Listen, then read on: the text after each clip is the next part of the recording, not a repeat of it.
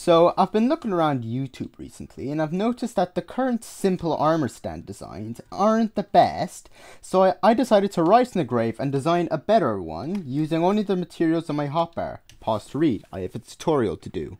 So you're going to want to begin by digging out a 3x3 hole that's 6 blocks deep that I already conveniently dug and make sure you add that one in the center because that is where we'll be putting the sticky piston and put a slime block on top. Now using the blocks that you collected from digging the hole, build a little ring like this, and add, an, add a trapdoor here, nope, here, and place your button.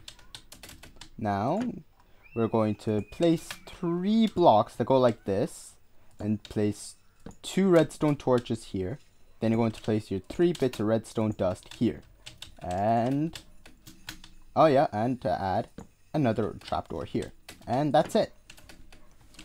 I'll, sh I'll show you it working in just a second. As you can see now, the armor stand swapper is fully functional. Although, if you are building it inside, you're going to want at least a 4 block uh, clearance gap thingy. Or it can't be, you can't put a half slab on top. But for some reason, if you do this, it just simply doesn't work anymore. It's probably because it hits its head off or something, but yeah. Uh, so thank you for listening to my tutorial on uh, armor stand swappers, I guess.